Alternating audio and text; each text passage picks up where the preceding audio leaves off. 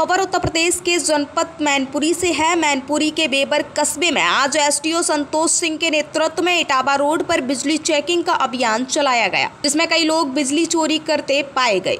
SDO mister Santosh Singh ने बताया कि इटावा रोड पर मौके पर एक कनेक्शन जो कि अवैध था। कुमकुम गुप्ता पुत्र प्रेम शंकर गुप्ता कटिया डालकर चोरी से चला रहे थे। और भी लोगों की हमने जाँच की है उनमें कुछ लोगों की केबल काट ली गई है और उन्हें हिदायत दे दी गई है। इस मौके पर एसडीओ संतोष सिंह और जेई मिस्टर रजनीकांत राय और अन्य कर्मचारी मौजूद रहे। एक शिकायत हुई कुमकुम गुप्ता के नाम से एक शिकायत आएगी हमारे नाम से। किस क्या नाम सर? कुमकुम गुप्ता के नाम से। जी ऑफ़ प्रेम शंकर गुप्ता। हाँ हाँ। तो ये कटिया डाल करके ए चला रहे हैं। जी। तो अभी मौके पर चेक किया गया है तो अलग से कटिया पड़ी हुई है। कटिया पड़ी मिल पाएगी सर? कटिया पड़ी हुई पाई गई है।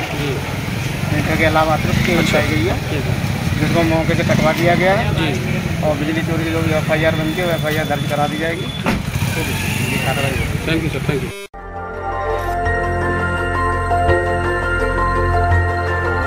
देखते रहिए डीवी भारती समाचार।